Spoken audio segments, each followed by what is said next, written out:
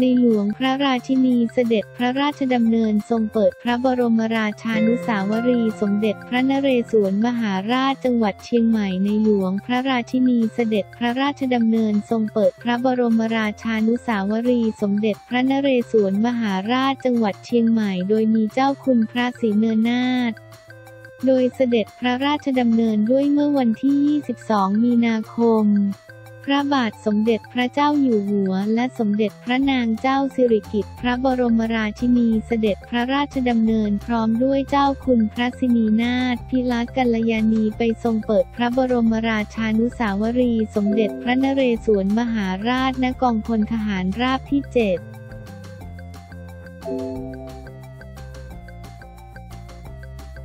ทุ่งยางทาตำบลดอนแก้ว อำเภอแม่ริม จังหวัดเชียงใหม่ เมื่อเสด็จถึงกองพลทหารราบที่ 7 ทุ่งยางทาตำบลดอนแก้ว อำเภอแม่ริม จังหวัดเชียงใหม่ พลเอกนรงพันธ์จิตแก้ว แท้ผู้บัญชาการทหารบกพลตรีจรัส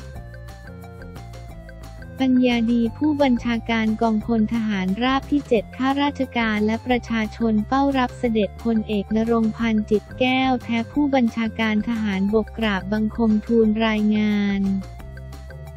ประวัติความเป็นมาและวัตถุประสงค์ของการจัดสร้างพระบรมราชานุสาวรีย์สมเด็จพระนเรศวรมหาราชพร้อมทั้งขอพระราชทานกราบบังคมทูลเชิญเสด็จ ทรงประกอบพิธีเปิดพระบรมราชานุสาวรีย์สมเด็จพระนเรศวรมหาราชตามลำดับ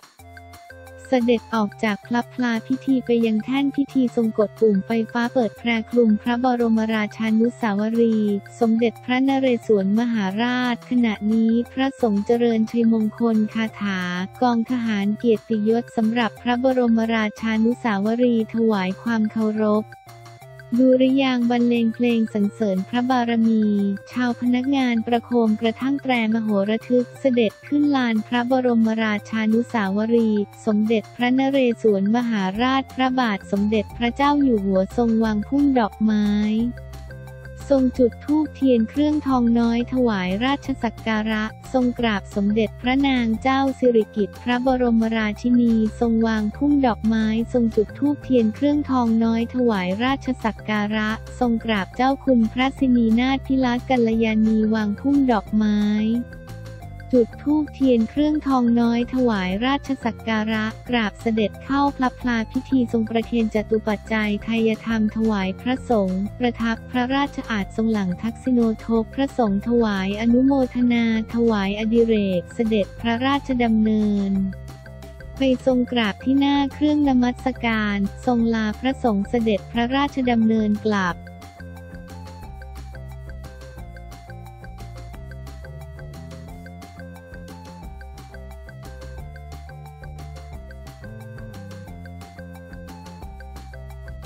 ลอยชิดจันทร์ขอโทษบริษัทดังปมรีวิวปัญหาบ้านหรูหลังถูกฟ้องกลับ 50 ล้านพลอยชิดจันทร์โพสต์จดหมายขอโทษบริษัทดังปมรีวิวปัญหาบ้านหรูหลังถูกฟ้องกลับ 50 ล้านชาวเน็ตแห่ส่งกำลังใจ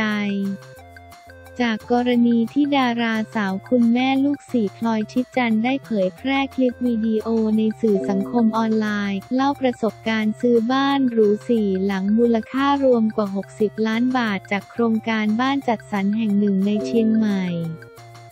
แต่กลับเจอปัญหาให้ซ่อมแซมบ้านทุกปี ทว่าภายหลังคลิปดังกล่าวถูกระงับการเผยแพร่ และทางบริษัทได้ฟ้องเรียกค่าเสียหายเป็นเงินกว่า 50 ล้านบาทล่าสุดวันที่ 22 มีนาคมพลอยชิดจันได้โพสต์หนังสือขอโทษในการเผยแพร่คลิปวิดีโอในสื่อสังคมออนไลน์ช่อง YouTube ผ่านทางไอจีส่วนตัวโดยมีเนื้อหาว่าตามที่ ข้าพเจ้าได้มีการเผยแพร่คลิปวิดีโอในสื่อสังคมออนไลน์ในช่อง YouTube เกี่ยวกับเรื่องความเสียหายของบ้านทั้งสี่หลังของข้าพเจ้าในโครงการลัดดารมเลแกนถนนวงแหวนรอบกลางแยกมหิดลตั้งอยู่ที่ตำบลธรรมศาลา อำเภอเมืองเชียงใหม่ จังหวัดเชียงใหม่ ซึ่งเป็นโครงการของบริษัท Quality House จำกัดมหาชน ที่ข้าพเจ้าซื้อไว้นั้น จนเป็นเหตุให้บริษัท Quality House จำกัดมหาชนฟ้องร้องเรียกค่าเสียหายในมูลละเมิดจากการเผยแพร่คลิปวิดีโอดังกล่าวในเนื้อหาที่ไม่ถูกต้องเกินความเป็นจริง อันก่อให้เกิดความเสียหายต่อบริษัท Quality House จำกัดมหาชน ในเชิงรูปลักษณ์กับบุคคลในสื่อสังคมออนไลน์ที่ได้พบเห็นเป็นอย่างมากต่อศาลจังหวัดเชียงใหม่ เป็นคดีแพ่งหมายเลขดำที่พอ เศษ 1596 ส่วน 2563 ไว้แล้วนั้น ภายหลังจากที่ศาลจังหวัดเชียงใหม่ได้ให้คู่ความทั้งสองฝ่ายทำการเจรจาประนีประนอมกันเพื่อเป็นการยุติข้อพิพาทด้วยดีต่อกัน ข้าพเจ้าจึงได้ทำหนังสือฉบับนี้เพื่อเป็นการขอโทษในกรณีที่บริษัท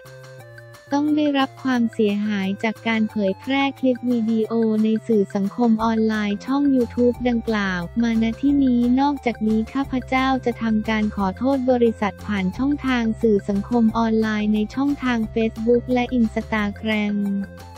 เป็นลำดับต่อไปและหวังว่าบริษัทจะไม่ถือโทษข้าพเจ้าและจะดูแลข้าพเจ้าเช่นลูกค้าที่ดีของท่านต่อไป ขอแสดงความนับถือ นางชิดจันหง หลังจากที่แชร์หนังสือขอโทษไป เพื่อนดาราและแฟนคลับได้เข้ามาส่งอิโมจิหัวใจและข้อความให้กำลังใจ สาวพลอยเป็นจำนวนมากอาทิโอยเพื่อนขาส่งกำลังใจให้ข้าเราก็แค่พูดความจริงในสิ่งที่เราเจอมาอะเนอะ ให้เราขอโทษแล้วบริษัทเขารับผิดชอบเรื่องบ้านให้เราไหมคะน้องพลอย คนที่ขอโทษไม่ใช่คนผิดเสมอไป เป็นกำลังใจให้ครอบครัวหม่ามี้นะคะ เป็นต้นขอบคุณภาพไอจีพลอยยิบจุน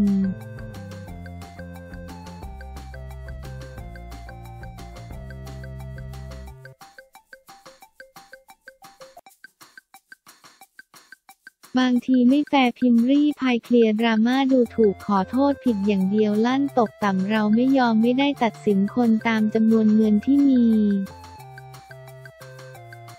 พิมรี่พายเคลียร์ดราม่าดูถูกยกมือไหว้ขอโทษผิดอย่างเดียวลั่นรู้สึกว่าบางทีก็ไม่แฟร์ไม่อนุญาตให้ใครมาชี้หน้าตกต่ำเราไม่ยอม เจอกระแสดราม่าต่อเนื่องถาโถมเข้ามาชุดใหญ่แบบไม่มีพัก สำหรับแม่ค้าออนไลน์ชื่อดังพิมรี่พาย ที่ไม่ว่าจะทำอะไรก็เป็นกระแสระมาจูบยับจนติดเทรนด์ทวิตเตอร์หลายต่อหลายครั้งมาแล้ว ล่าสุดพิมรี่พายเปิดใจถึงทุกดราม่าผ่านเพจพิมรี่พายพิมรี่พายโดย พิธีกรฝีปากกล้า มดดำคชาภาทำหน้าที่ซักประเด็นดราม่าที่ผ่านมาแบบละเอียดยิบ โดยมดดำเปิดคำถามแรกว่า ฉันอยากจะฟังจากปากแกสมองมึงเนี่ยวันนั้นมึงคิดอะไร พูดถึงคนเงินเดือน 14,000 บาท พูดถึงการต่อคิวบัตรอีอ้อนมึงไม่เคยจนมาก่อนหรอมึงคิดอะไรไปพูดแบบนั้นด้านพิมรีพายชี้แจงว่าส่วนตัวมีวิธีรับมือกับคนที่พูดดี เวลาคนที่พูดดีอุดหนุนของตนเองจะเรียกว่าเพื่อนรัก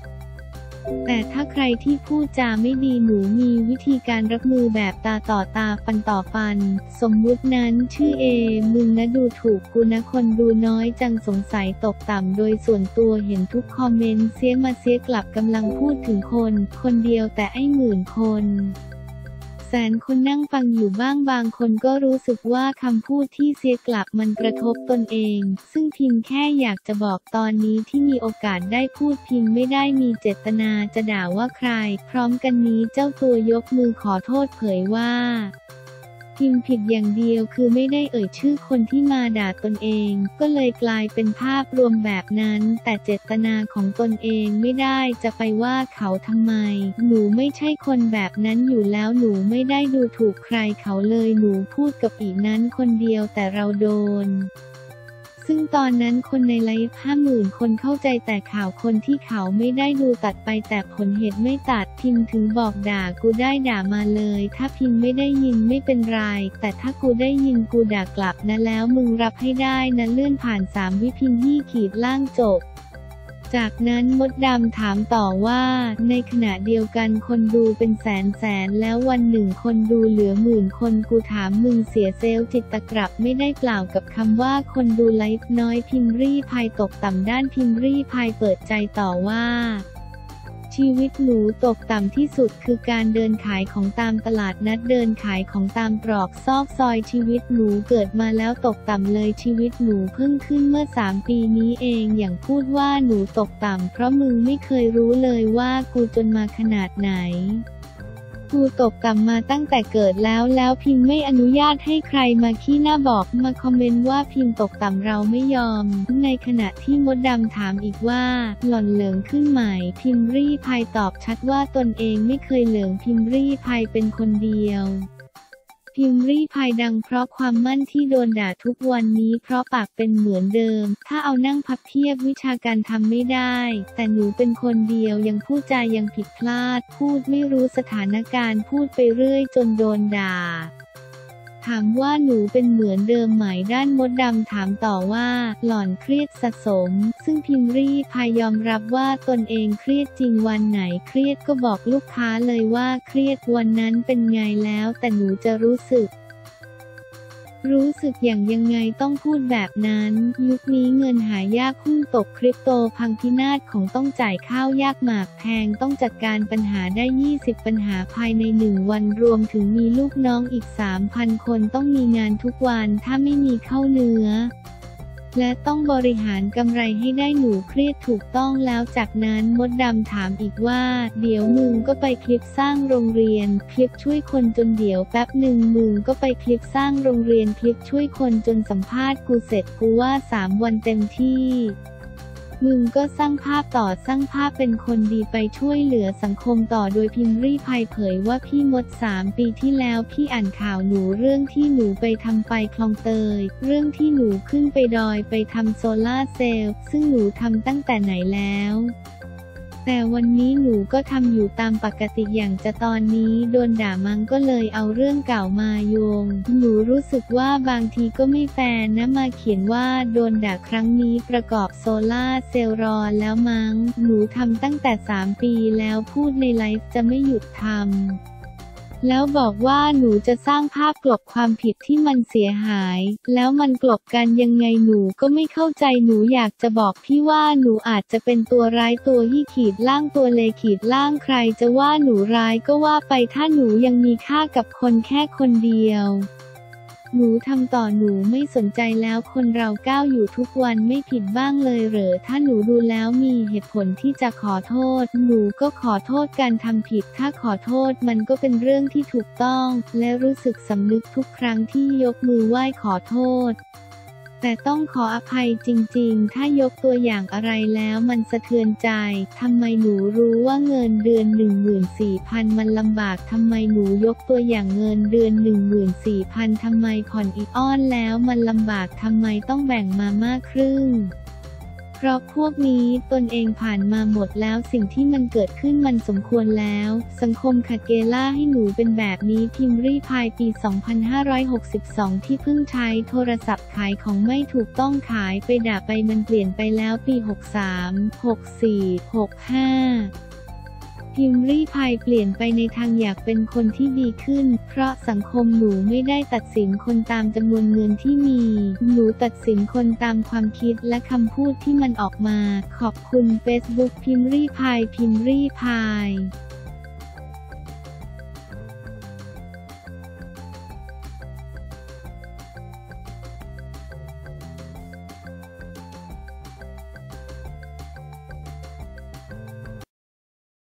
yeah.